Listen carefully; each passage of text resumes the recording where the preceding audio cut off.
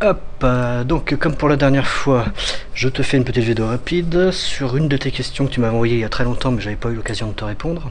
Enfin je t'avais répondu d'un point de vue théorique mais pas sur une vidéo. Donc là j'ai l'occasion de le faire. Euh, je viens d'acheter cette bécane d'occasion. Un HP ProLiant DL380 génération 6. Donc comme je t'avais expliqué, hein, ça ressemble à des lames euh, épaisses. Et il y a un port particulier, un port qui a l'air d'être un port réseau, numéro 16, qui est ce qu'on appelle un îlot. Alors chez HP ça s'appelle un îlot, chez Dell ça s'appelle euh, IDERAC, pardon, IDERAC, etc., etc. Donc les caractéristiques de la machine, euh, bon je passe rapidement dessus, on verra ça tout à l'heure en détail dans l'interface. Donc ce document-là détaillait évidemment euh, tout ce qu'on pouvait faire sur la machine, quel RAM mettre, euh, les garanties, les trucs comme ça. Je passe très, rapidement sur la documentation, hein, ça t'intéresse pas forcément.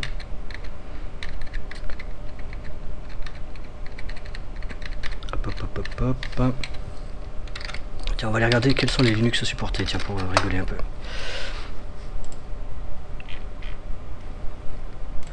Doit être marqué quelque part, je suppose, par là.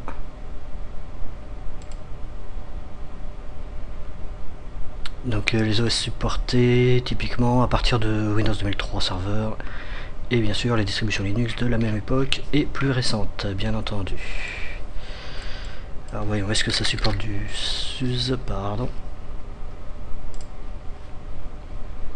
Ça supporte du SUSE.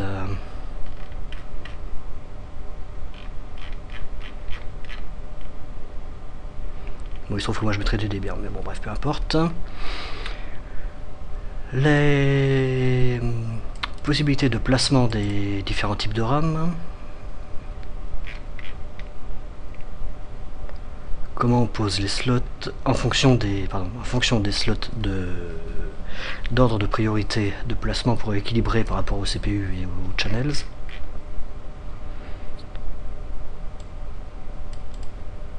On va être des barres de 8, euh, barres de 16 on peut mettre.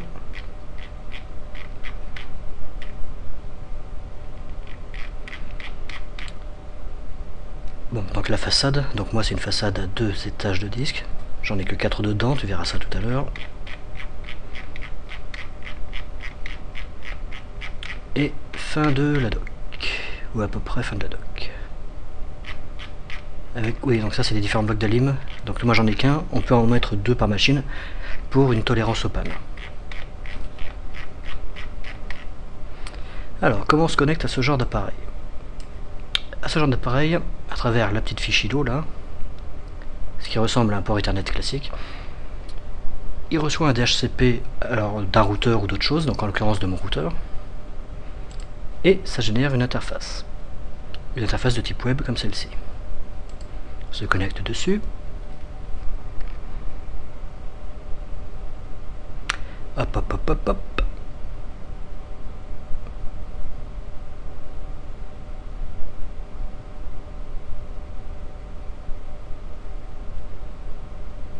Évidemment, quand je veux démontrer quelque chose, ça rame à mort. C'est toujours comme ça que ça se passe. Voilà.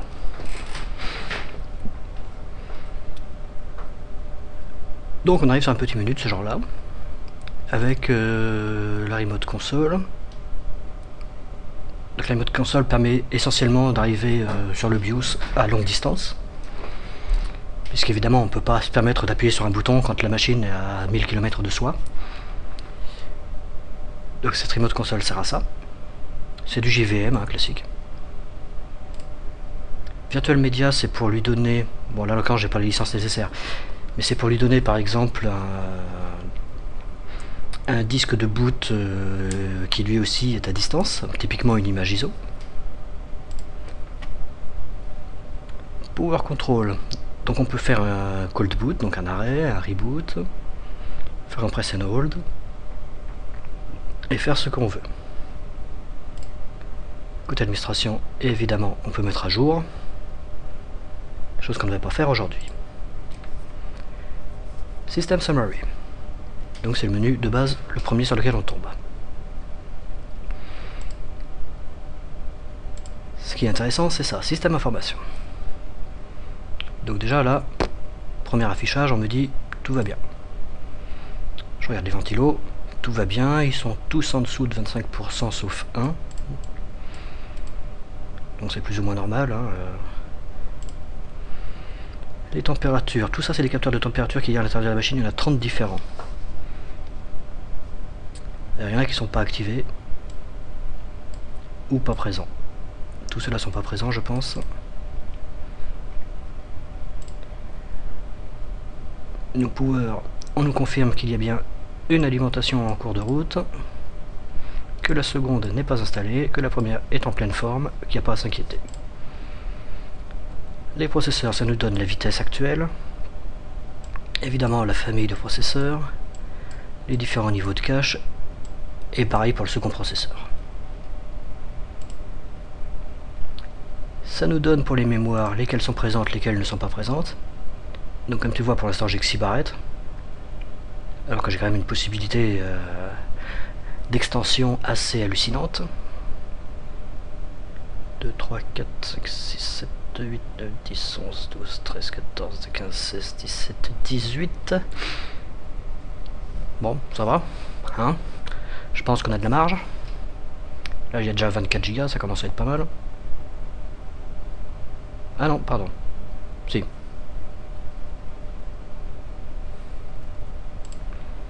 Donc les NIC, donc ça c'est les cartes euh, réseau.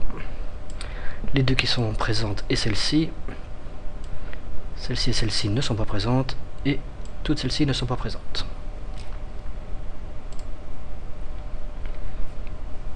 Là ça me dit l'état de mes disques. Donc les quatre premiers sont dans leur slot. Ils sont tous allumés. Tous ces slots là, ils sont vides. Donc j'ai encore la possibilité de rajouter 4 disques de plus. on peut générer un log. Hein, bon.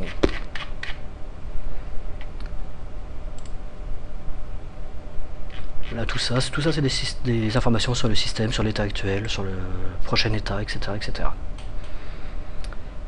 J'ai tout à l'heure fait dérouler un test pour euh, checker l'ensemble de la machine. Comme tu vois, tout est impeccable, aucune erreur.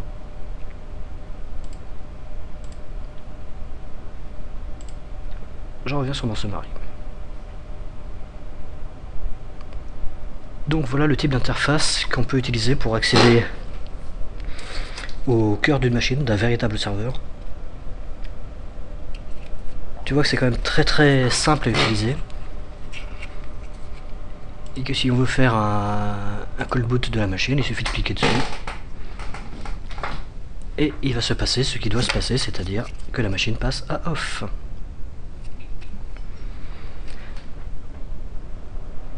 De la même manière, une fois que la machine redémarre, les statuts vont changer. Alors ça met un certain temps forcément, hop, voilà.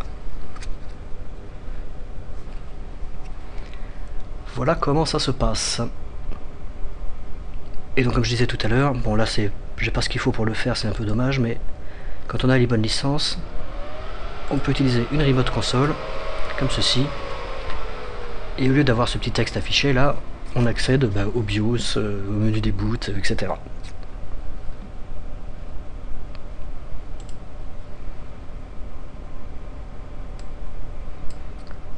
Voilà, c'est tout pour aujourd'hui. J'espère que ça répond à ta question. Et n'hésite pas à poser de nouvelles questions, bien entendu. J'essaierai toujours d'y répondre à chaque fois que c'est possible. Ciao